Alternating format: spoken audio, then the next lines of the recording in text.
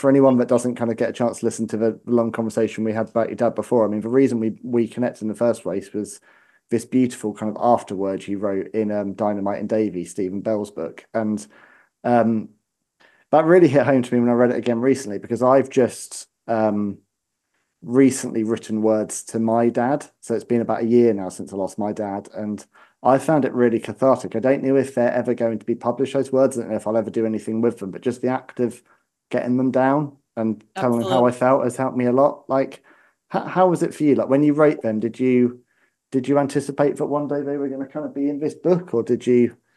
Uh, there it is. Um, so I did... did write that particularly for that book, um, and because when my dad passed away, I was two months pregnant Mm. And so, of course, there's a risk of flying. I'm in Calgary and, you know, my dad was in England. So, and it would be short notice. I wouldn't be able to take my family, like, you know, because it's very expensive. So I didn't want to put that stress on my body, a new pregnancy, um, to, to go to the funeral. So what ended up happening was my cousin actually FaceTime me the funeral, which was really, really nice and amazing. And I'll always appreciate and remember that he did that for me. I could hardly hear a thing, but it was still, you know, at least I was kind of there. Yeah. Um, so anyway, so when Steven asked me to write something in the book, I kind of used it as my opportunity to like what I would have said if I was at the funeral, like my yeah, my speech kind of thing. So so it was very, very healing for me. And um I still talk to my dad like if I need things to get things off my chest or whatever.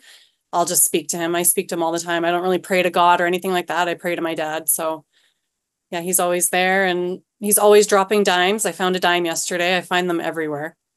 Like so much so that I'm like, oh, did this just fall out of my wallet? Was this just but my sister's like, no, Bronwyne, like when you mm. find them, they're dead.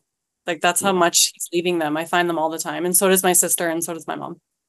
Yeah, I mean, I've I've planted a tree since since losing my dad, and that's my little spot where I sit outside every morning and have a coffee and have a quick chat to him. I think it's a really healthy way of processing it because he, you know, then that family they're not gone, they're just not here anymore, but they're still very much around. I'm sure when you were doing that speech at the hmm. spec at the spectrum, I'm sure he was there listening to every word. Like I, I'm a big believer of these people. You know, we're not left behind by our loved ones; they're just somewhere else. We'll see them again sometime. Yeah, absolutely.